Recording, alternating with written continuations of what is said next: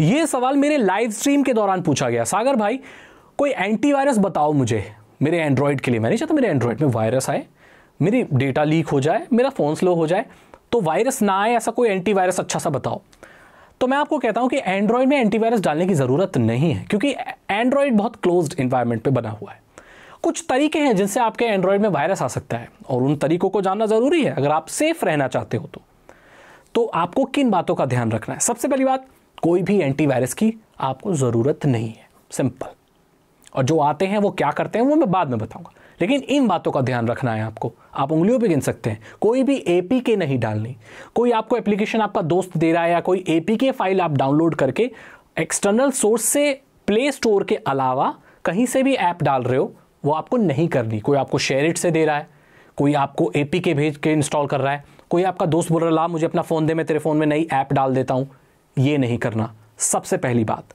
दूसरी बात कि आपको अपने फ़ोन में ऐसी वेबसाइट्स विज़िट नहीं करनी जो कि एडल्ट वेबसाइट है या फेक डाउनलोडिंग वेबसाइट है या ऐसी वेबसाइट है, उन पे नहीं जाना आपको क्योंकि उन पे आपको ऐसी स्क्रिप्ट, ऐसे एड ऐसे मेलवेयर डाउनलोड हो सकते हैं जो आपके फ़ोन को नुकसान पहुँचा सकते हैं। तो दूसरी चीज़ क्या है?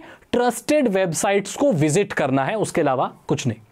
जो तीसरी चीज़ है कि आपको किसी भी लिंक पर सोशल मीडिया पे आए किसी भी लिंक पर क्लिक नहीं करना और कुछ भी चीज़ डाउनलोड जो ट्रस्टेड सोर्स से नहीं है, वो नहीं करनी। अगर आप इन चीज़ों का ध्यान रखते हो तो आपका फ़ोन सेफ़ एंड सिक्योर रहेगा। अगली कुछ और भी चीज़ें हैं। आपको अपने फ़ोन में कस्टम रोम नहीं डालना। कस्टम रोम एक एंड्रॉयड होता है, सॉफ्टवेयर होता है, जो अपने मेन सॉफ्टवेयर को हटा के आप कस्टम रोम डाल लेते हो, जिससे आपको ज़्यादा फीचर मिलते हैं। ये लोगों द्वारा मॉडिफाई किया गया एंड्रॉयड वर्जन होता है। इसकी कोई गारंटी नहीं है कि इसके साथ क्या बंडल आता है। इसीलिए आपको ये नहीं इंस्टॉल करना चाहिए। आपको अपने फ़ोन का वही एंड्रॉयड इस्तेमाल करना चाहिए जो पहले से डल के आया। हाँ अगर ऑफिशियली अपडेट आते हैं आपके फ़ोन में तो वो अच्छी बात है, वो आपको करने चाहिए। लेकिन एपी के कस्टम रोम और इन सब चीज़ों से आपको दूर रहना चाहिए, नहीं डालना चाहिए। कोई रिकवरी वगैरह कुछ डाल रहे हो, ये सब भी आपको फ्लैश कर रहे हो, कोई चीज़ अपने फ़ोन में, ये भी नहीं करना चाहिए। तो इन सब चीज़ों का अगर आप ध्यान रखते हो तो आपके फ़ोन में कोई भी वायरस नहीं आ सकता। इसके कुछ कुछ एक्सेप्शन हैं जिसमें आप कुछ नहीं कर सकते। ऐसी कौन सी चीज़ें हैं जिससे आपके फ़ोन में वायरस आ सकता है, लेकिन आप कुछ भी नहीं कर सकते? वो ये है कि अगर आपके फ़ोन बनाने वाली कंपनियों के सिस्टम में कोई वॉलनरेबिलिटी है, कोई कमी आई है, या आपके फ़ोन में कोई सॉफ्टवेयर इंस्टॉल है, जैसे गूगल क्रोम व्हाट्सएप टेलीग्राम इसमें अगर कोई कमी है तो इसमें आप कुछ नहीं कर सकते।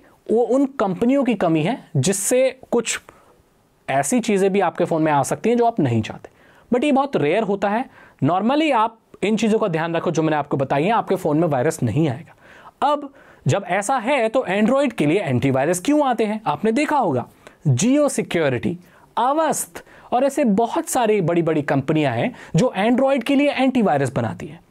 तो वो यही करती हैं। जो मैंने आपको बात बताई ना इन चीज़ों का ध्यान रखना है। वो इन चीज़ों को ही सुनिश्चित करती है। जब आप इनको अपने फ़ोन में डाल लोगे तो वो ये चेक करती है कि क्या आप बाहर से कोई एपीके तो डाल रहे हो। जब आप डालोगे तो वो एक्स्ट्रा वार्न करेगी आपको।